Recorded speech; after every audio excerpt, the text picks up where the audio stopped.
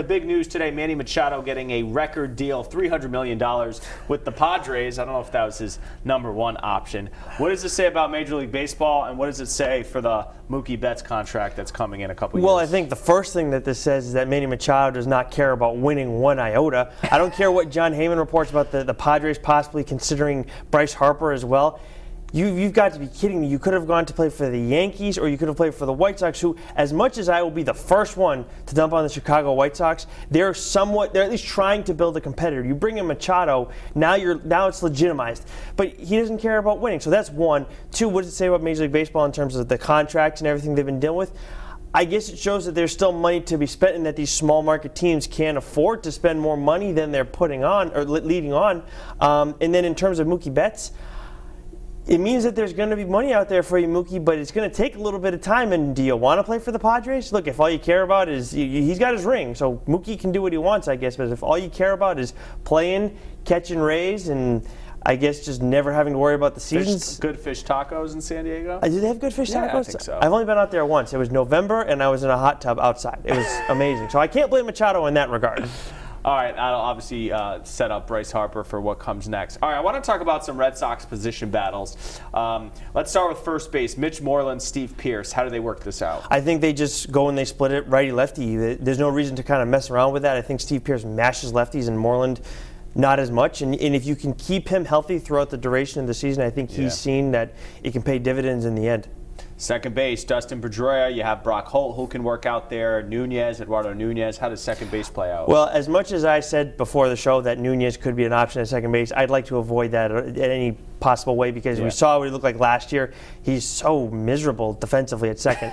um, but Brock Holt is good. The only issue with him is that small doses. That's when he's at his best. If he's playing too much, Right, right. and your primary guy is going to be Pedroia, and I know Dombrowski said they're hoping for 125 games out of him this year. He's in a knee brace, and he's old. I mean, like I know he's not Brady's age, but he's getting up there. Like it's, let's be honest. So you're going to rely on him to take a, take on the brunt of the games. Then you have Brock Holt right behind him. I, I think that Holt is good. I think Holt will get the job done. But if you go and lean on him to play, I don't know, ni- start 90 games, Yeah. then you're, you're or, or even I don't know 85. You're playing you're playing with fire.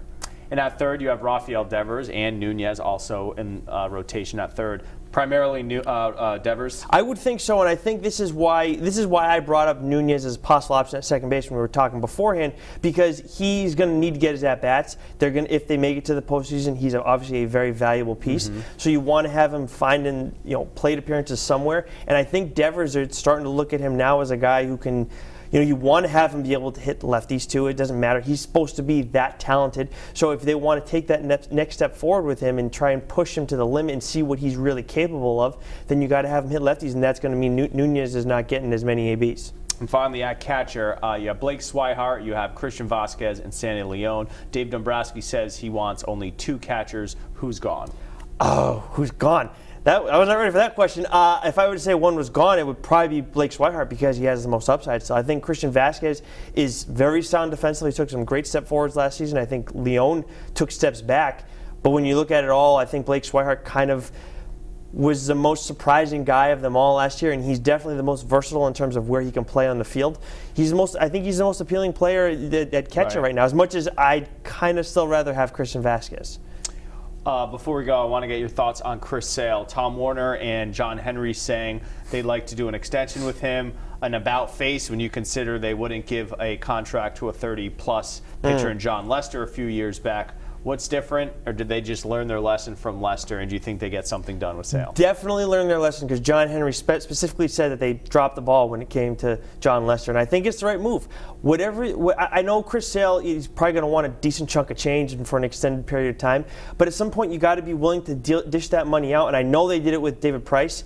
Um, it worked out last year. I wouldn't say it worked out beforehand, but with Chris Sale, we know what we're getting here. Mm-hmm. We, we know you're going to see a guy who is a bona fide ace as long as he is healthy, and he's going to do everything he can to put himself in that position. He is a gamer. He is an ace by definition, and there are not many of those guys Right. in the game of baseball.